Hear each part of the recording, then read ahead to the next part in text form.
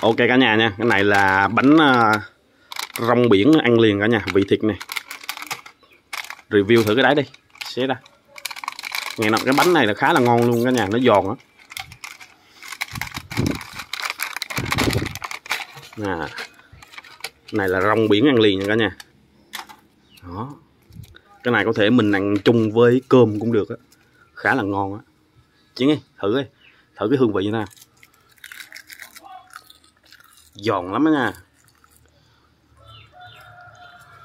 Cho cái cảm nhận như thế nào? Hơi mặn mặn mà ngon. Hơi mặn mặn mà ngon hả? Nó giòn nó giòn tan luôn á. Ừ. giòn lắm luôn á nha một gói như thế này hình như nó được uh, đếm thử nó mấy miếng? Chế bảy tám miếng. 8 miếng hả? Này ngon lắm đó nha cái này ăn không cũng được mà cái này ăn có thể mình ăn với cơm cũng được đó nha thường thường mình thấy bên nhật là thường người ta ăn à, cơm rong biển này cả nhà. Khá là ngon luôn nha.